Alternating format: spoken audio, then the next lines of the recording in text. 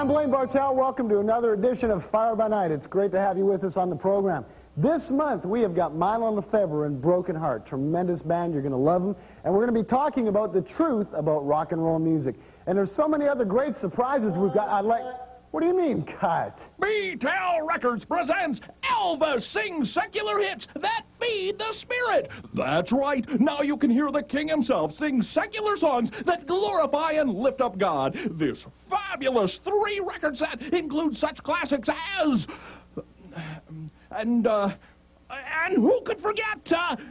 Uh, uh, that's right! This double album set contains secular songs guaranteed not to tear down your spirit, such as You Ain't Nothing But a... Wait a minute, man. That ain't gonna be on there. You'll Feel the Anointing as he sings. And I did my... Wait a minute, baby. That ain't gonna be on there either. But wait, there's more! Free with this single album is a 30-second video cassette with stirring testimonies of people who have been born again through the use of secular music. These songs have always held a special place in my heart, and I know they're gonna bless you too. Oh, come on. There's gotta be something we can use. To receive your 45 single of Elvis Sings Secular Hits that feed your spirit, send $8 to B-Tel Records, Post Office Box 12. That's all the address you need. And as soon as we find it, we'll send it to you. Mama! Welcome to St. Cornelius Hospital, the hospital with a difference. Doctor, there's a man on line one who wants to know if raw oysters are healthy. Well, if they eat right, get plenty of sleep, and cut down on salt, they shouldn't have any problem whatsoever. Here, nurse, why don't you close for me? I've got a patient in the lobby. A definite metal case. Metal case? What is it? Well, it's a small square box with a handle on it. I use it to bring my lunch in sometimes. But that's not important right now. Aha, I see we have a definite case of metalhead. Oh, uh, yes, what kind of doctor are you? Well, I'm a naval surgeon. Oh, his navel's doing just fine. It's his head I'm concerned about. Oh, yeah? Why? What's he doing? Well, he listens to rock and roll music all the time, and it's changed his whole personality. Really? How's that? Well, he won't listen to a word I say, and he stays out all night trying to figure out where the sun goes when it sets. I see. Well, has it finally dawned on him? Excuse me, doctor. There's a man in line one that wants to know what is the name of a tourniquet worn on the left hand to stop circulation. Well, that would be a wedding ring, of course. Ah, disorderly, come here. What's the medical history on this patient? Well, he listens to rock and roll 24 hours a day, including a heavy diet of Twisted Sister, Ratt, Bon Jovi, an occasional dose of the Eagles, the Byrds, and the Partridge Family. Sounds pretty foul. You should have seen the TV show. Ah, nurse, nurse. Did you call me, doctor? Call you a doctor? Why would I call you a doctor? I'm a doctor. Okay, nurse, take this metal monster and prep him for surgery, would you please? Hmm. Doctor, doctor, what do you prescribe for my son's skin condition? It's the nastiest looking kid I've ever seen. Well, lady, if I were you, I'd take him home and bathe him in milk. Would it be pasteurized? No, just up to his chin is fine. Ah, my name is Mr. Tor, but you can call me Doctor. And this is my assistant, Miss Uri. Nursery to you.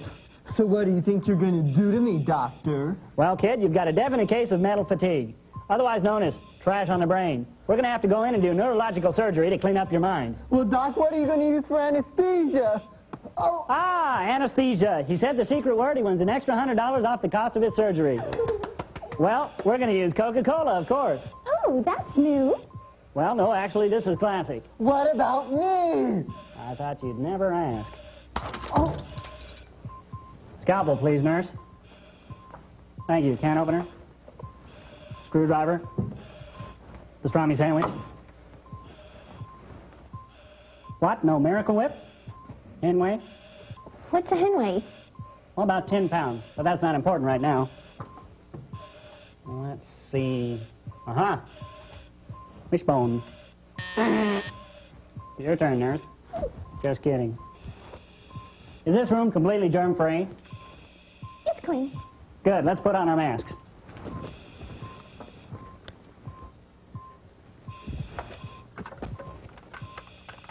Should be a clean sweep.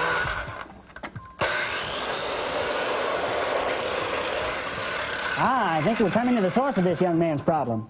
Hmm, let's see here. Ah, drumsticks. Yeah, this kid ain't Ringo. Ah, An album. Terrible. Aha! Hit parader. Terrible. What else we got? Ah, look at this. Boombox. Hmm. Ah, but there it is. Looks to be in pretty awful shape, nursery. I know what I would do now, Doctor. Oh, why don't you show me, Missouri? Well, it's right here, right above Arkansas. That's not important right now. What's important is getting this boy's mind cleaned up.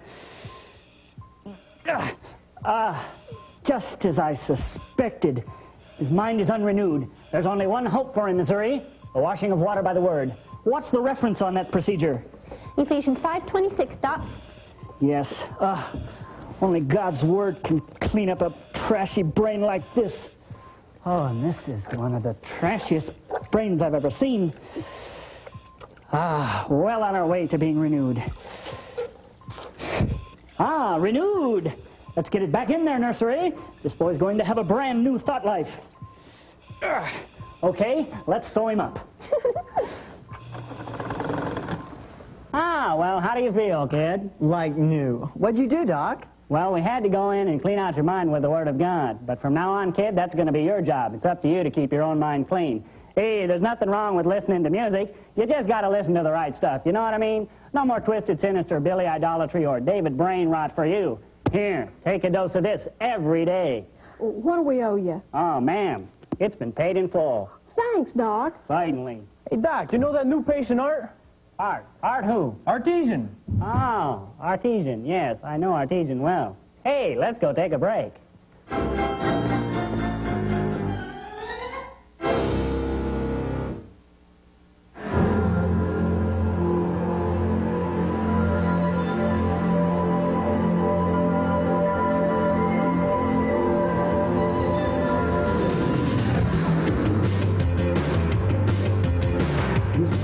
Early 70s in Christian music, went into secular, and now really come strong back into Christian again.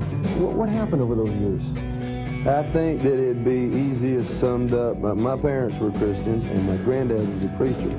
And I think that in my youth I accepted Christ as my Savior, but not as my Lord. I didn't know that um, I needed Him to make decisions for me. I wanted to run my own life, and I thought, you know, if I, in other words, I gave Him my sin life. I gave Him the things that I didn't want. But those areas where I felt like I was strong, I didn't want Him to mess with that, and I was possessive about those things. And of course, as you know, that won't work. What was it that really brought you back to the Lord?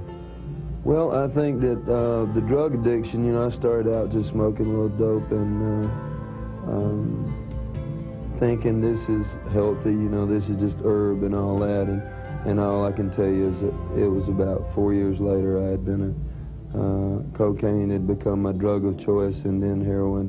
And uh, after 16 years of freebasing, all, well, every day, I mean, cocaine was a, was a daily part of my life.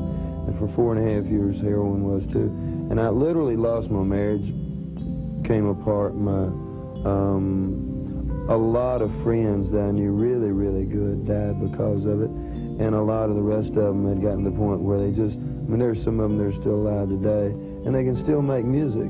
They can still go through the motions, and yet when it comes to their personal life, I don't know of any whose marriages stayed together, they're, and they got kids everywhere, and there is no love, and there's depression. That's what happened to me. I mean, I was just so depressed. I, I remembered out of my childhood, God, I can't remember how long it's been since I had any peace in my life. I'd made a couple million dollars at that point. By the world standards, I'd been successful, and yet I was lonely, and I was depressed, and I was suicidal, and. Uh, just going from one uh, high to the other, and and yet none of it was doing any good, just trying to keep my brain numb. And I just came to God and asked Him to forgive me, and just said, Lord, you know, I, I've been around the world, and I've seen what the world has to offer, and I either want you to, I, would see people on TV like this. I think I was somewhere in Montana or someplace on a, a opening for the Who, and we were having really big crowds and everything, but it was like five or six o'clock in the morning. One of those Christian shows was on. I think it was PTL or 700 Club or something. And these people were sitting on this couch, worshiping the Lord, and they were crying. It had to be PTL, come to think of it. Because that, uh, anyway, they were crying. And they were talking about the joy of the Lord, and I was thinking how foreign that is to me. I can't relate to the joy of the Lord. Doesn't make any sense. I don't remember anything in my life that I can relate to the joy of the Lord. And I just remember that I stopped, though, and started praying, God, there's got to be a better way than this. If you can save me, and if you can change that. So I asked him to forgive me, and he did. And, and that was just an amazing, I mean, I still can't get over it. I still can't get over the fact that God forgave me my sins, that he baptized me in his spirit. You know, the Bible says after that the Holy Spirit came upon them, they were given power. And he gave me the power, and it wasn't power to be uh, super religious, but he gave me the power to witness about Jesus with great effect. And that amazes me that I go from town to town every day, and I just talk to people and tell the truth as I know it about Jesus Christ and and share his word. As you know, faith comes from hearing the word of God. And people's faith rises up in their heart until God can reveal more truth to them. And he just changes their lives. And it's what he's done for me. Changed my mind. Changed my attitudes. I, I don't have any struggle with taking dope. I can't imagine having to take any dope. You know what I mean? It's like he's just set me free.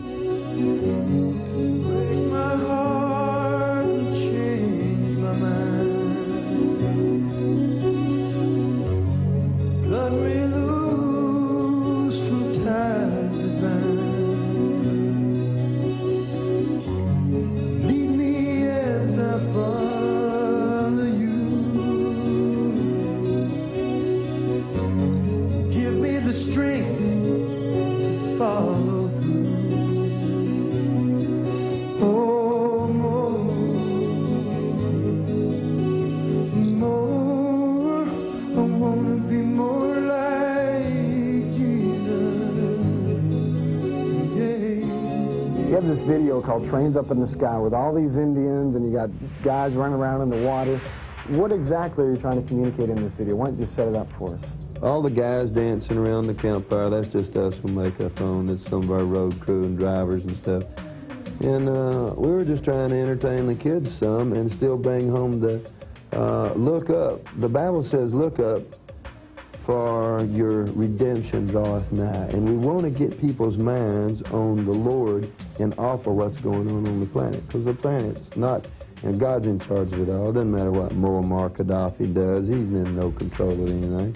And when you know the Lord, you don't have to have any fear. You don't have to fear death, hell, and the grave. Christ took the keys to those things, and we're free from all that. You know, and so by the end of the story, if you'll watch, we're missing at the end. You know, which should let people know to get ready for that, because there's going to come a day when I don't know what you're going to be doing, but I ain't going to be here anymore. Look up.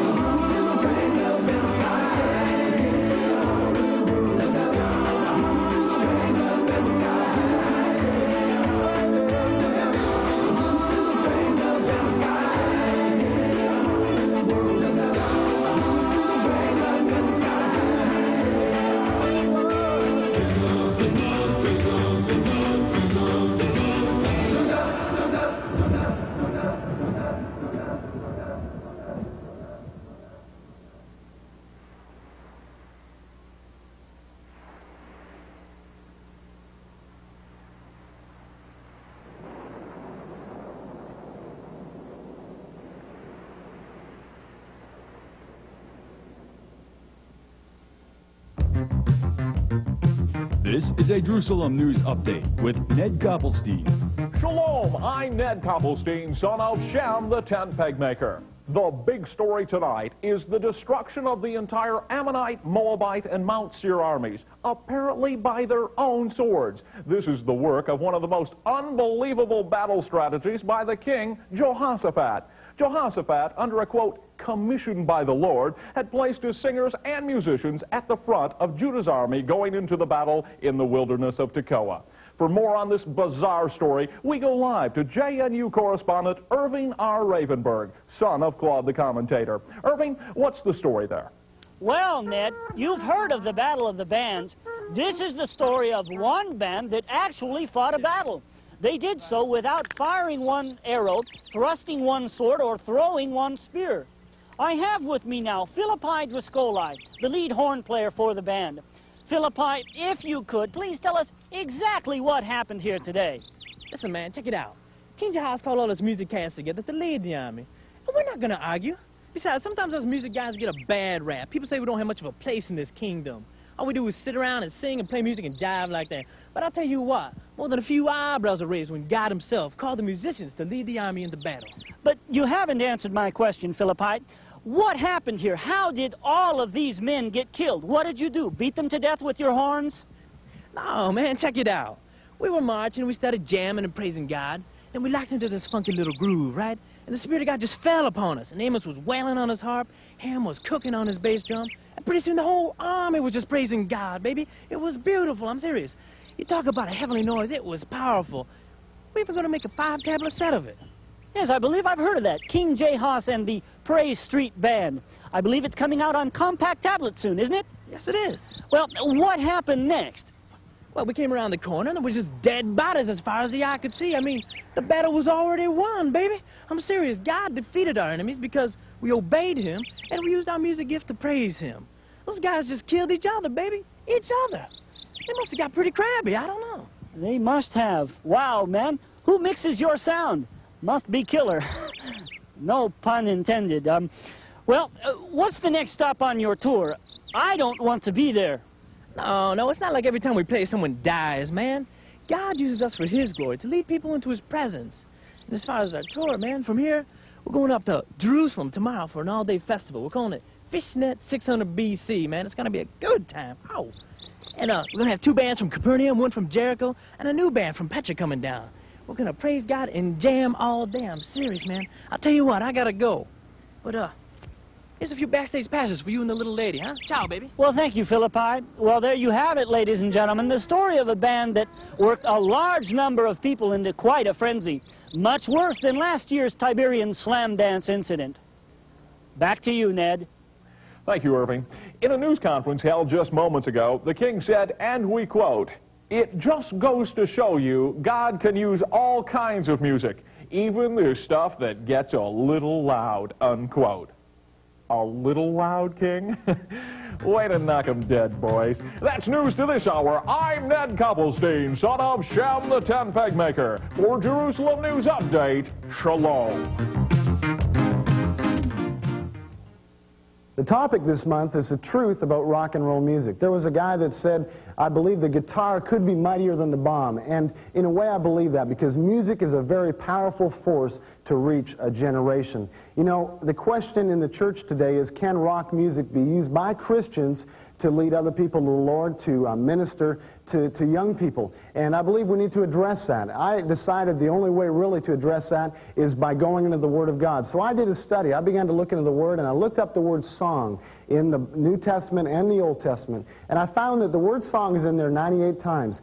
And out of those 98 times, not once did it ever talk about the beat or the volume of the song. It talked about the heart of the person singing it, the character, and the words that were brought forth. So God isn't so concerned with the volume or the beat or the style of music. He's concerned with the person that's delivering it, their heart, and what's in it and what's coming out. So we need to uh, really make sure that if we're involved in music ministry, that we have right character and right heart before the Lord. And don't be judgmental just because a style doesn't necessarily go along with your style. There was a time when uh, Jimmy Swaggart's music wasn't even accepted in the church, and, and today it's widely accepted. So new styles and new uh, ways of presenting music will always be there, but make sure that the, the lifestyle and the, the person delivering it is, is right with the Lord. And then also, uh, there are basically three ways that music can be used. A lot of people say that music's only for worship, and unless it's bringing people into worship, it's no good. Well, that's not true. The Bible says in the book of Ephesians uh, 5.19 and Colossians 3.16 that there are three ways we can use music. Number one, music can uh, be used to edify and encourage ourselves. It says that. We can speak to ourselves in psalms, hymns, and spiritual songs. We can be edified. I know when I listen to good Christian music, it blesses me and it edifies me. And also it can be used to speak to others. We can use music to exhort other people in the Word of God and in truth. And the third thing is we can use music to minister unto the Lord and glorify Him. So let's use music, let's use it for God's purpose, and let's glorify Him with it. Hi, welcome to What's Hot. I'm Ron Luce, and we're going to check out what's hot in today's Christian music. Have you ever wondered what happened to the members of the Sweet Comfort Band? Randy Thomas, the former lead guitarist for the group, has started a new group called The Allies. They've already released their second album titled Virtues as they boldly pursue Christian rock and sing about important Christian issues in every tune they play. Rick Cua, formerly of the secular rock group The Outlaws, has returned to what he calls intense rock and roll with his fourth solo album, Wear Your Colors. Recently, The Outlaws called Cua and asked him to return to the band, but he refused, being determined to wear his colors and encourage others to live what they believe. Now, it's time for our Fire by Nite Top 10 Countdown.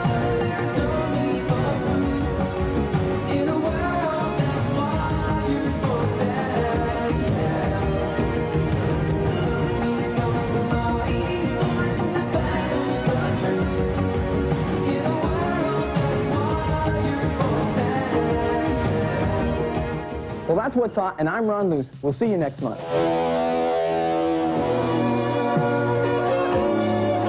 Mylon, you lived in the world of rock and roll for a number of years. What are some of the dangers for a Christian teenager in listening to secular rock music today?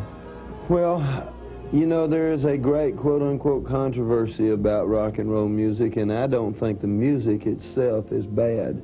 I think it can be used bad, wrongly. You know, I think that the Bible tells us God created everything.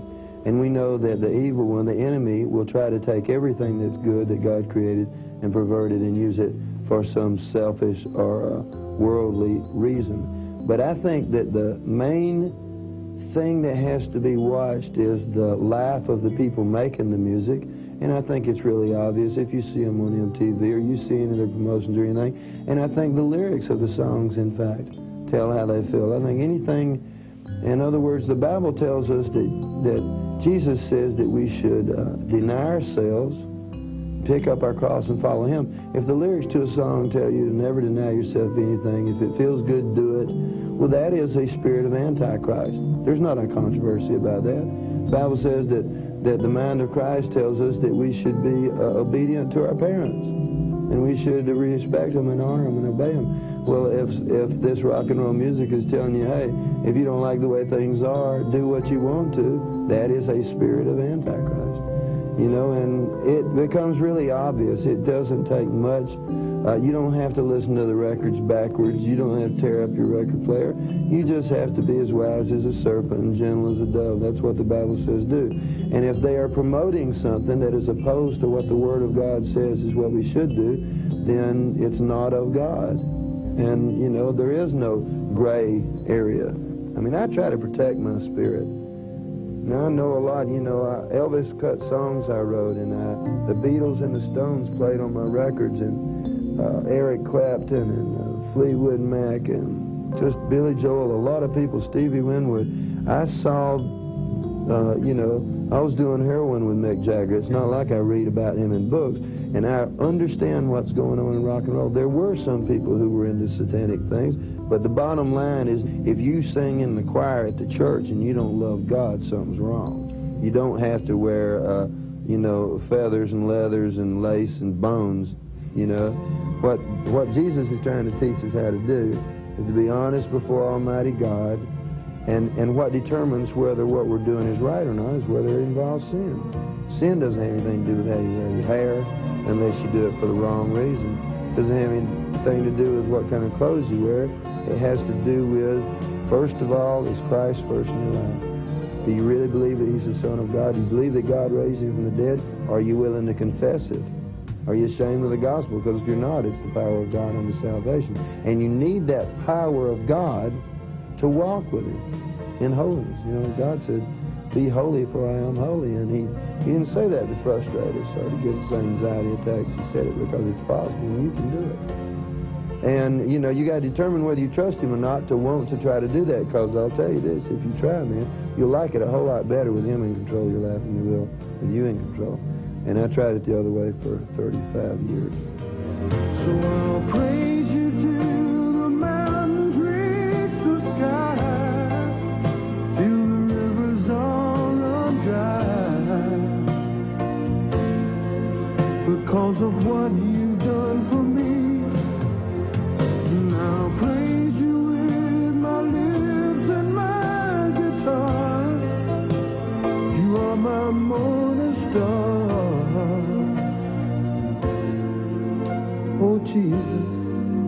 Over the last few years, there's been a lot of Christian artists who've produced an album that crosses over into the secular market. And you guys have done that with your album, Look Up. What is your approach to this game plan? I mean, you're not as upfront lyrically as you have been with some of your other albums. Spiritually, that's a weak album. That album was made shallow intentionally. Uh, there's a couple songs on there that really have that bring it home, but you can't really give an invitation on a record. Even though we did try it once, as you know, on Word, and by, even this Christian record company freaked out. We did anyway. But you can't really bring people to a conclusion because you don't have enough time to really explain Christ to them. And to give them, in order to do that, you've got to have a lot of scripture. You've got to sing the word and you've got to speak the word of God. You know, and, and that's what brings people to repentance. The, the yoke is broken, the, the heart is broken, and, and conviction comes from the Holy Spirit, you know, that rests upon the word of God. But the only place you can do that is in concert. If you get a chance, I mean, if we get a chance to do the David Letterman show, should we do it or not? They're not going to let us preach on there. I wish I could preach on there, but if we get a chance to do that, I'm going to go on there and I'm going to do a song and kick out the gym and sweat a little bit. You know, and, and those kids who like that are going to come to our concerts. Now what's going to happen? We're going to bring those people to, to the point where they have no choice. They either accept or reject Jesus Christ. That's the only thing you can do with him. He's still the Son of God, and he's still the King of kings and the Lord of lords. You know, and, what the only thing that needs to be determined is are you going to enjoy him? Enjoy his presence in your life until he comes again. Are you going to submit your life to him? So I think that whatever we do to get the unsaved to come to those concerts, that's what we're trying to do is go out here and get these kids whose parents weren't Christians. We're trying to encourage them to come into a place where we can sit and, and get their attention, and set them down for 20 minutes, and preach the gospel to them. And if you can figure out another way to do it, call me collect and I'll help you. because they're not watching Brother Swaggart and they're not watching uh, PTL Club. Those kids that go see Twisted Sister and Madonna and Prince, who by the way claims to be a Christian, and seeing all that obscenity and seeing all that uh, pornography that goes on on stage. If you really believe that nobody needs to go and reach them, or if you really believe that it's being done by the church, then I just think we have a communication problem because somebody needs to go. We send missionaries to Africa. We send missionaries to, to India. We send missionaries to those places to minister to them. And yet there is a place called rock and roll that more people live in than any other continent on earth. It goes beyond the barriers of, of um, states and, and countries and borders. It goes beyond the barriers of, of the English language or the German language or the French or the Japanese language. There is a place where rebellious youth lives that I refer to as, as the continent of rock and roll. Now, I'm not saying that normal ministry is bad. That's ridiculous. Normal ministry is wonderful, and we are just a small part of the body of Christ, and we're specialists who have been sent back to the gutter that I was saved out of. That's all.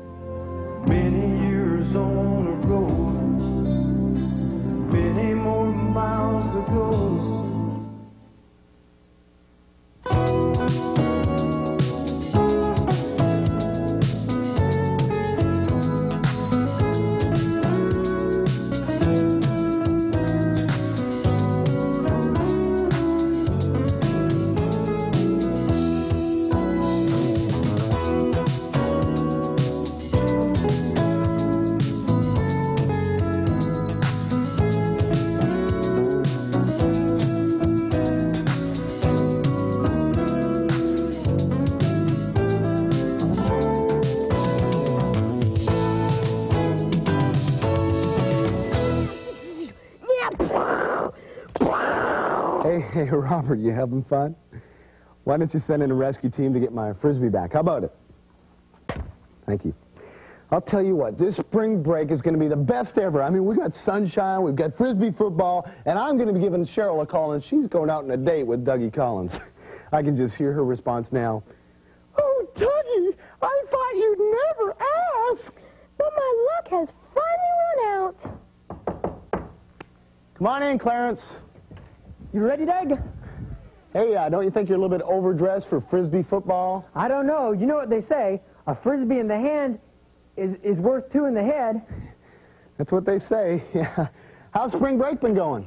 Well, pretty pitiful so far, but I knew it was going to be bad when I poured me a bowl of Lucky Charms and not one marshmallow. Oh, man, that's terrible. Life can really deal you a raw hand sometimes. Hey, come on, we got to be there in 10 minutes. Let's boogie. Come on. Doug, have you got your chores done? Mom, do I have my chores done? Of course. I got my whole half the garage swept completely clean. Good. Just remember your cousin Brian's arriving tonight. Don't remind me. How long is he going to be here again? Three days, and we're going to make him feel welcome, aren't we? I don't remember Brian anyways. What's he like? Well, he's a real nice young boy, but he does have his problems. Oh, I see. Kind of like Connie. Robert, that's enough. Now you get out there in the garage and do your half. And this time, don't sweep it all on Doug's side. Well, Brian, this is where you'll be staying. Connie's gone on a ski trip with some of her friends, so I thought I'd put you in here. I hope it'll be all right. Oh, thanks, Aunt Shirley. This sure beats my stepdad's apartment. Well, I know life hasn't been easy since your mother left, but we just want to make you feel really at home while you're here. You still have family who loves you. Yeah, yeah. Would it be okay if I play my guitar while I'm here? Sure. In fact, maybe some night you could play a few numbers for the whole family. Right, Aunt Shirley. Has it been 10 years since you were here last? I remember the last time you came, you went to church with us. And you looked so cute in that little suit and tie you had on. In fact, you went down that night and gave your heart to the Lord. Yeah, I guess I did. Well, how do you feel about that now? Well, you know, it was okay at the time. Well, if you need anything, just let me know. Good night.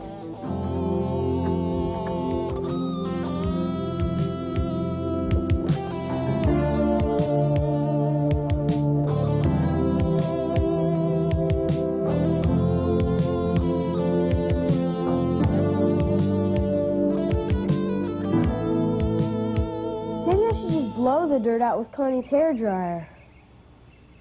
Nah, this is working just fine. Man, I don't remember the sun coming out this early. Early? It's almost 10 o'clock. That's what I mean. Hey, you're Brian, aren't you? Plane got in real late last night, huh? Yeah, plane was late. I don't remember the last time I've seen you. In fact, I don't think I've ever seen you. Where's Doug? He went to the store for Mom. I've got to stay and clean my half of the garage. Doug did his half yesterday. I guess I'm just not into it being spring break and all. Nobody could ever be into cleaning the garage, except for maybe Dog. So, who are you into? Who am I into? Nobody, I guess. I'm just me. No, man, tunes. Tunes? Yeah, rock and roll. The essence of life itself. Bon Jovi, Ratt, Van Halen. What's your sound, Scooter? I don't know. I just I just don't listen to that kind of music. What do you listen to? Barry Manilow? As the Copa, Copacabana. No, it's just my parents taught me not to listen to that kind of music. It's not Christian. Oh, please, Scooter. I can see we need to have a little talk. I used to be just like you until I realized kicking rock and roll is where it's at, man. I play in a band. I know one of Iron Maiden's guitar roadies. You play in a band? Yeah, man. Lead guitar. I've got over 600 albums. See this t-shirt, man? I've got a closet clear full of them. I'm telling you, Roberto, rock and roll will spice up your life. Where do you get all the money for these things? Oh, I manage. Look, look at you, Robert. You're too normal. You, you fit in. You're average. No one would notice you if you climbed a flagpole and set your hair on fire. They would definitely notice you. That's the point. I'm making a statement. I'll tell you what, cuz. I'll give you some private lessons on how to be cool. Welcome to the Mr. Jam School of Rock and Roll. I don't know. You play in a band? Come on, I'll show you some tunes on my axe. Axe? Great, no one's here. I'm going to call Cheryl right now, and I am going to blow her mind. oh, yeah. Hey, Cheryl, this is Doug. Nah. Cheryl? Doug. That's it. That's it. She is going to go for this one. Hello, is uh, Cheryl there? Is Cheryl? Is Cheryl there, please? Thank you. Hello, Cheryl. This is Dougie Collins. Yeah, from youth group. Remember I uh, met you last Friday night and I said I'd call you? Yeah, well, here I am. hey, I just wanted to let you know this is your lucky night. Yeah, you've been selected from among thousands of applicants to accompany me on an all-expense paid date for two. Yeah, with me. So what you doing tonight? You're, uh, you're making curtains. Yeah, well, I understand. We, we've got curtains right here at the house, and that, that's very important. Yeah. How about tomorrow night? You're hanging the curtains? Well, sure. I mean, why make them if you don't hang them, right? That's totally understandable. Hey, next weekend, what you doing next weekend?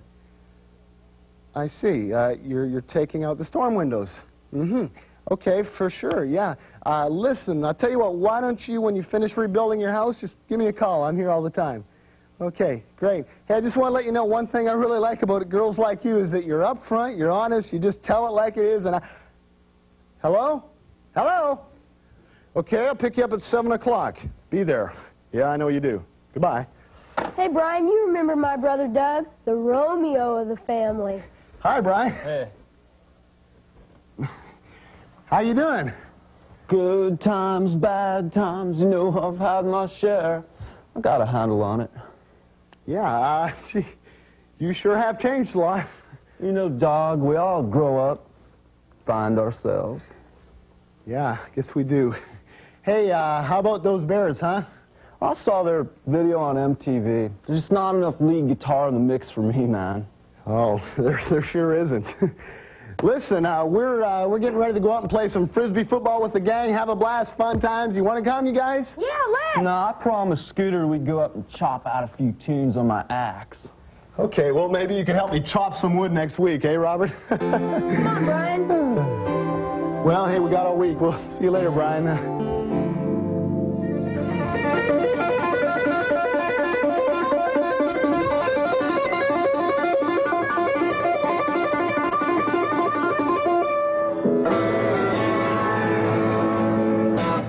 That, my man, was a riff created by the legend, Eddie Van Halen.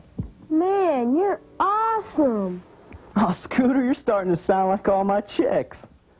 Brian, doesn't your stepdad care that you look like that? I mean, the earring and listening to that kind of music all the time.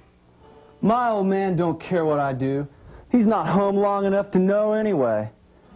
But I kind of like that, because I can do something you can't do. I have control of my life. I can be my own person. Man, Brian, I could never look like you. My mom would kill me, and then my dad would probably ground me for life. Scooter, you're being too hard on your parents, man. They'll come around. My mother was the same way, till she left. Hey, I know what we'll do. Let's change you into Scooter, the rock and roller.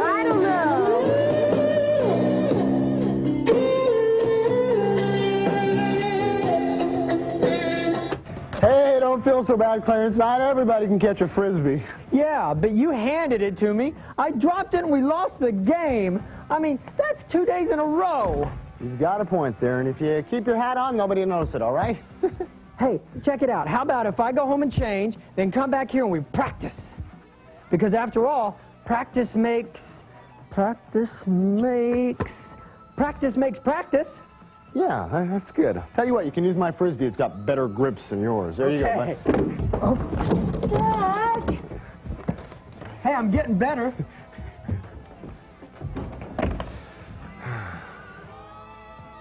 What is that racket up there? Well, that's uh, Brian and his music. We tried not to be too hard on him, but this is getting ridiculous. I mean, if the rapture happened, we wouldn't even be able to hear the trumpet. By the way, where is Robert? That garage is still a mess. I think he's up there with Brian. Gee, it seems like ever since Brian's gone here, Robert has really gravitated to that guy. I just hope Brian's attitude doesn't rub off on Ron. Well, I think he's spending entirely too much time up there. And I have a feeling Robert is not influencing Brian. Well, we have never allowed that secular rock music in this house. And we're not going to compromise now just because he's our guest. The whole spirit of that stuff is destructive and demonic. I mean, just look at Brian. He's in and out of juvenile court. He's terribly unhappy. He's just searching for his own identity. I need to go up and have a talk with him. I will not allow Brian to rub off on Robert.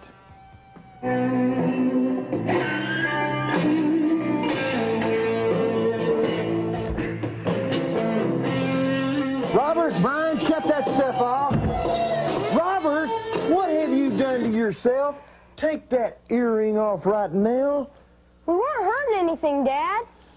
Get up to your room, young man. I'll talk to you later. And wash that goo out of your hair. Man, Uncle John, don't you think you were a little rough on your son? Brian, I think I'm perfectly capable of raising my own son.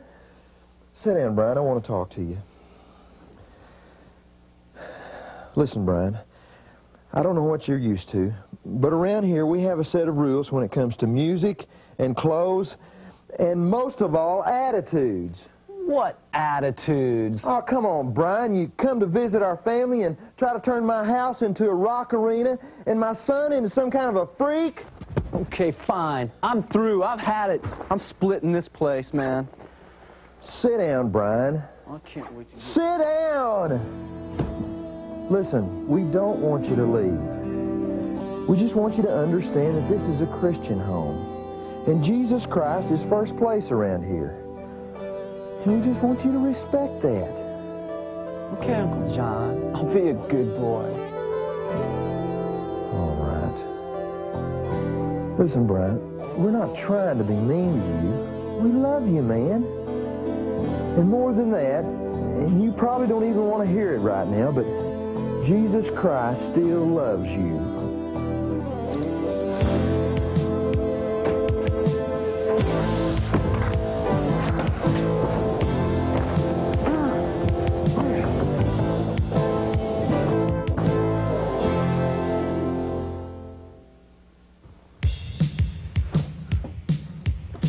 They love me. Jesus Christ loves me. It's just getting a little bit too heavy around here for me.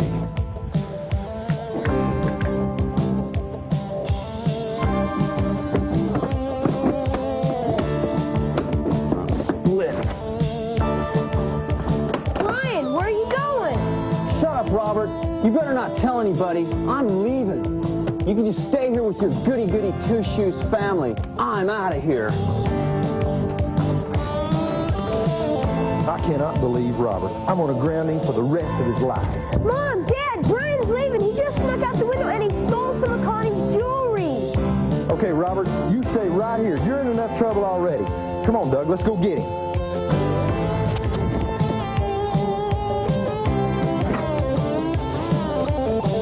Oh, man. Oh. Brian, you all right? Come on, get up. Clarence, are you all right? Toto, M, this doesn't look like Kansas anymore. Uh, Doug, did I score a touchdown? Oh, man, we need to get you inside and sit down. Come on, man. Brian, can't you see you can't make it on your own? Man, you're hurting the people that, that love you the most. Stealing and running away. Oh, who loves me? Robert, you little squeal. Well, go ahead. Call the cops. Call the cops like my old man and get me locked up again. We don't want to get you locked up, Brian. Jesus said if you knew the truth, the, the truth would set you free. When are you going to stop running from him? Oh, sure, Uncle John. Become average-looking geeks like you guys. Listen to that gospel music that sounds like funeral marches. Wait a minute. Dad, can I go up into his room and talk to him for a minute? There's a video I want to show him. Sure, go ahead. This is not working. Come on, Brian. Let's go upstairs. And I'm going to go home and soak my head in ice. Come on in, Brian. Why don't you grab a chair and sit down? I want to show you something here. Listen, I know the way you've been feeling the last few days, and I know you've been really unhappy. So how would you know? Well, man, like this whole rock and roll thing you do, I mean, I know it's just a front. So what if it is, Doug? Maybe I don't know how to be perfect like you guys. Why, why don't you take off your glasses for a minute? Let me talk to you. Brian, if you were half as committed to Jesus as you are to rock and roll music, you wouldn't have the problems that you're having right now. And I'm not trying to sound like I'm preaching at you, but every one of us has an emptiness that only Jesus can fill. And, and you've been trying to fill your emptiness with music, and it's just not working. Look, Doug, I don't have anything against Jesus Christ, and your family's okay. But there's just no way I'm going to sit here and listen to a gospel quartet. And there's no way I'm going to change the way I look. Christianity isn't just how you look and what you listen to. I mean, what God's interested in is, is your heart. He wants your heart to be right. I think you've got the idea that Jesus has to be five years behind the times, some square, old-fashioned guy. That's not the way it is. I want you to take a look at a video. I've got a music video here by Mylon LeFevre and Broken Heart, a Christian band. Oh, great. Will you look at it? Okay. All right, I'm going to put it in. Man, this is great. You're going to love this.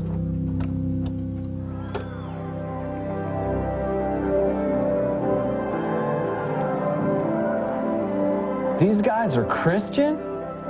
Man, they sound kind of like Journey. They may sound like Journey, but I want you to know, man, they're different. Just listen to what they're saying.